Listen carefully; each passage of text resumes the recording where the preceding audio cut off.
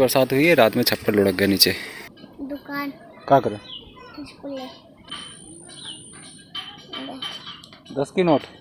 हम्म, कितने बिस्किट लेने? एक और रुपया। बढ़िया।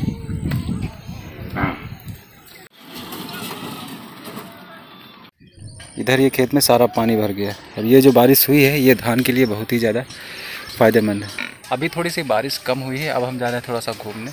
आपको दिखाते हैं क्या स्थिति हुई है बारिश के बाद में। जो गन्ने के खेत थे, सारा गन्ना का खेत जो है, वो पूरा सा बराबर हो गया। मतलब सारे गन्ने जो हैं, वो लुढ़क गए नीचे। हाँ दुकान अभी खोलें बाकी धानों को थोड़ा सा फ़ायदा हुआ इस बारिश से, और हर तरफ़ पानी पानी। दिखाते हैं भैया आपको चल के थोड़ा सा। बूंदे पड़ने लगी तो थोड़ा सा छाता ले लेते हैं, ताकि थोड़ी सी प्रॉब्लम ना हो। चाबी ले आ जाओ घर से। चलो, बोलो।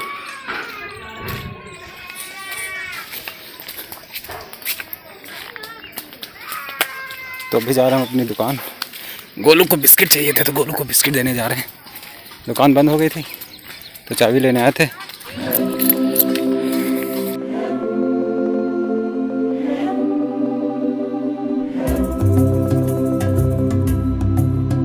गोलू, कौन सा बिस्किट चाहिए?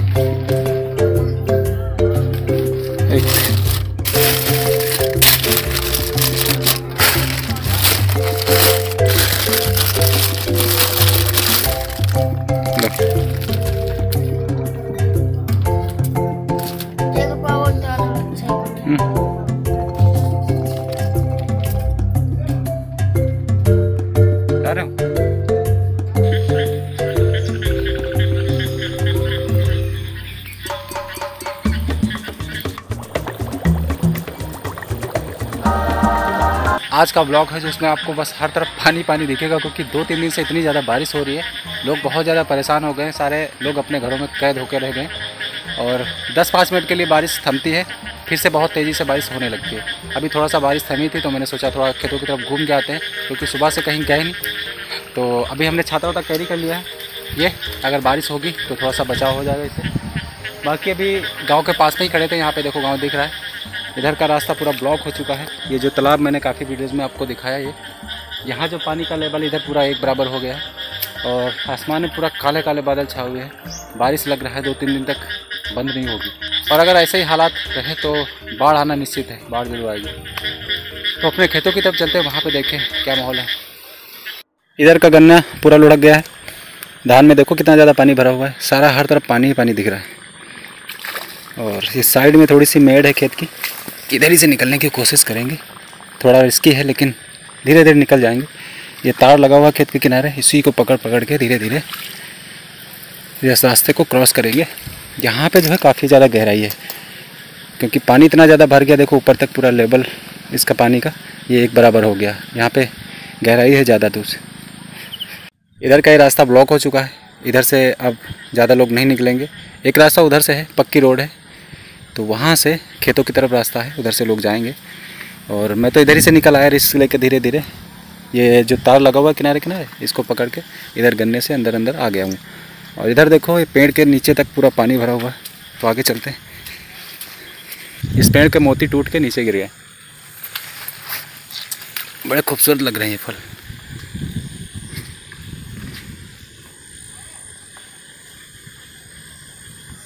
ये फल देख के ऐसा लग रहा है कि ये बहुत रसीले फल हैं। खाने में बड़ा टेस्टी लगेंगे, लेकिन ये खाए नहीं जाते। इनको चिड़िया खाती हैं सिर्फ़।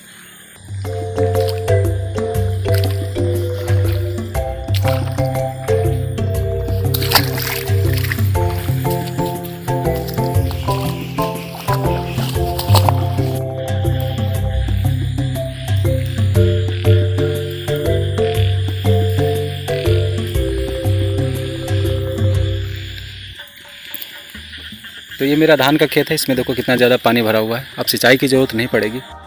गन्ना इसलिए नीचे लुढ़क गया क्योंकि तीन चार दिन से लगातार बारिश हो रही थी, बारिश के साथ में तेज़ हवाएँ भी चल रही थी। और लगातार बारिश होने की वजह से ज़मीन थोड़ी सी नरम हो जाती और जब हवाएँ चलती तेज़ तो गन्ना लुढ़क जाता है। तो गन्ने की फ़सल को थोड़ा सा नुकसान होगा, थोड़ी सी ग्रोथ इसकी स्लो हो जाती है। बाकी धान को थोड़ा सा ज़्यादा फ़ायदा होगा। तो आगे चलते हैं, आगे देखते हैं। आज मेरा थोड़ा सा नुकसान हो गया। तीन चार जानवर आए, मेरे पूरे धान देखो खा गए। ये देखो। यहाँ से वहाँ तक पूरा बर्बाद कर दिए पूरा। बारिश हो रही थी, बारिश में सारे लोग घर पे थे, और तभी उनको मौका मिल गया। और इसी मौके का फ़ायदा उठा के उन्होंने सारी फ़सल बर्बाद कर दी। ये देखो। पूरा बर्बाद कर दिया। धान निकल भी रहे थे। देखो यहाँ पे धान निकले हुए हैं। इधर का खा गए तो यहाँ पे धान नहीं है। और जानवरों से हर कोई परेशान है। रात में सारे लोग आते हैं अपनी अपनी को देखने के लिए।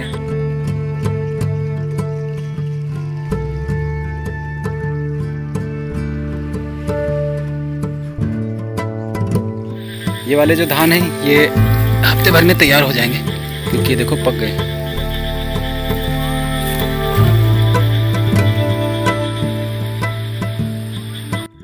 हफ़्ते भर में हो जाए काटे वाले। देखो बाहर चार से नहीं बच जाए तो मुझे कौन चल रहा है तीन बीघा करते हैं दो बीघा नहीं बीघा कर जाओ इधर? हाँ बिल्कुल काटे वाला इनसे ज़्यादा लाल। ऐसे बारिश होती रही तो, तो दिक्कत हुई बारिश ना हो तो वो इतना बच चुका कि बाढ़ आवे के संभावना। हंड्रेड परसेंट बाढ़ है शायद। है ना? हाँ। तीन दिन आज हो गए। और वही बताओ कि आज और नहीं बैल रहे रविवार कह रहा है चार छः दिन का बहुत दे दी अगर जो ज़्यादा भरे लाग है ये लन साड़ा लन चौदह लोग क्लियर है तो फिर इनका बलवाई ले अब लगा कर नहीं फिर मजबूरी हम्म तो- काट काट ऊपर ही निकाल लो तो सही है घर पर ले चले जाओ तो आप चारक कह रहे हो जो कुछ जोश था लेकिन जब जाना बाढ़ आई रही तो फिर धान निकाल ले अभी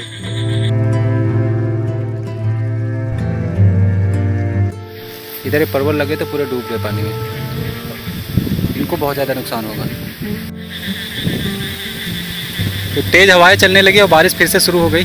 तो अभी मुझे लग रहा है घर पे निकलना चाहिए।